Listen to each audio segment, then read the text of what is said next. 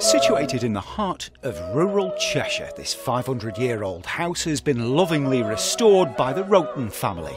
Royalty once married here, it was part of our defences against the pesky Welsh, and now it's going for a song. This Elizabethan manor house was last on the market for just shy of £2 million. The current owners have spent hundreds of thousands of pounds lovingly restoring this grade 2 star listed building. So who could live in a place like this? Well, for one of these, it could be you.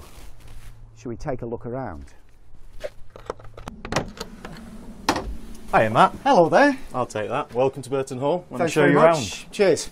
This is the drawing room at Burton Hall. As you can see, it's a fairly grand room.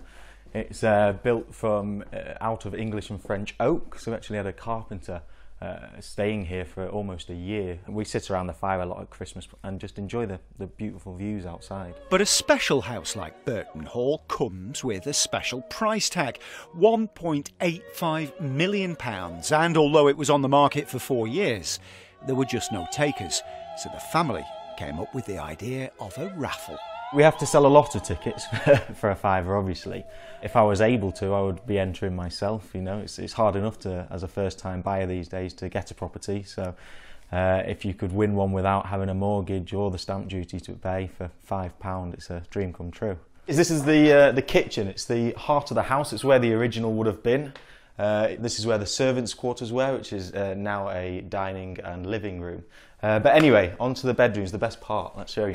We're walking up to the master bedroom. This was all opened up when we renovated the property. Uh, some of these staircases are from the original, but some of them are hand carved based on it. Anyway, this is what I wanted to show you the master bedroom. Oh my days. With 360 degree views out across Cheshire, this master bedroom is five star living in a 500 year old home. And all this could be yours for just a fiver. Matt O'Donoghue, ITV News, Tarvin in Cheshire.